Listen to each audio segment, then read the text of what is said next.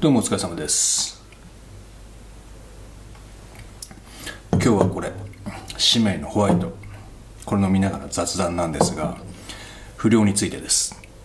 子供プロダクションチャンネルでございます。どうもこんばんは。まあ不良についてっていうのも唐突なんですがというのも去年ちょっとコンビニでやからに絡まれたことがあったんですよ。でそれはあの彼女の目の前で生きがりたかった10代の子供なんですがまあやからはやからであって不良ではないんですよね。でやからってのは映画なんかでよくあるのはあのピストル持った途端に強くなったりするキャラクターや小金手にしたら急に威張るやつとかあと顔見えないネットで誹謗中傷するやつとかね。まあそれらはそもそも妬みの傾向もありますし、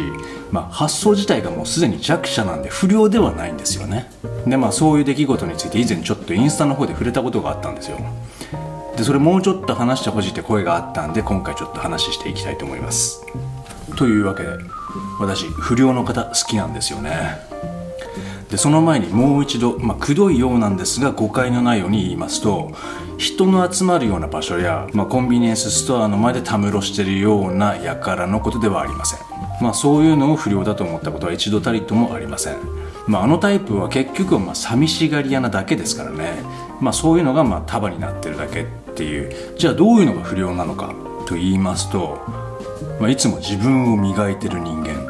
まあ、つまり自分の中にしっかりとした美意識を持ちそれに沿って生きている人たち。世間の常識にとらわれることなく自分の美を貫いて生きている人たち。とでも言いましょうか、まあ、正しく生きるか間違いかというと、まあ、今度は道徳になってしまうんでちょっと違うんですが美しいかそうでないかこれです。と言いますのもヤングヤクザっていうフランス人の監督が撮ったヤクザのドキュメンタリー映画があるんですがその映画の中でこういうセリフが出てくるんですよね。美の国は道徳の世界より広大である。美の国は道徳の世界より広大である。まあ美しさは道徳で測れないっていう意味なんでしょうかね。まあ確かに野に咲くバラを例えると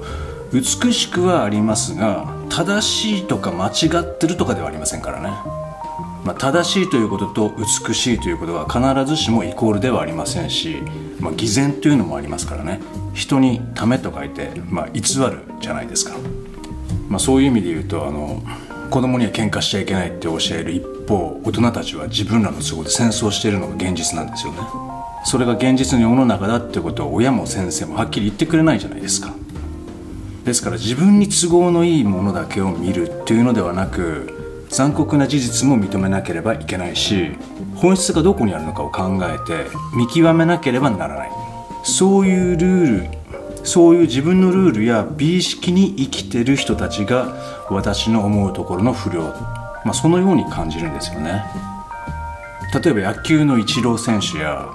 k 1の正人選手なんかはもう私にしてみるともう不良のエリートなんですよね。まあ、とっても憧れてます。かっこいいなと思いますね、まあ、そう考えるとそういえば私の身近にもそういう方いたんですよね、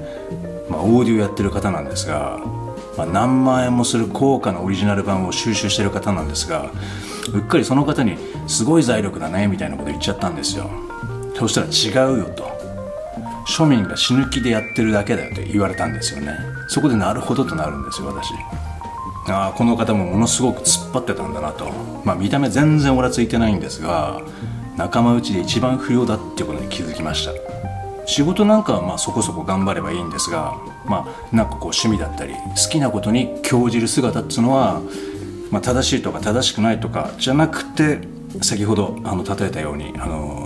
野に咲くバラのように、まあ、ただただ美しいのではないかなと、まあ、そんなふうに思いました。また趣味以外にも、まあ、例えば生活のルーティンや物事への接し方あとやらないことを決めるとかね、まあ、自分のルールなんかもデザインしてみると面白いんじゃないかなと思いました。そういう操作はじゃあ不良なのって言われると私の場合はと申しますと中2です。はい。というわけで今日は不良のすすめ。まあすすめというかまあ不良について少しお話しさせていただきました。また面白いことがあれば取り上げていきますのでよろしくお願いいたします。あとよろしければチャンネル登録そして高評価ボタンの方もよろしくお願いします。それではまた後ほど。さようなら。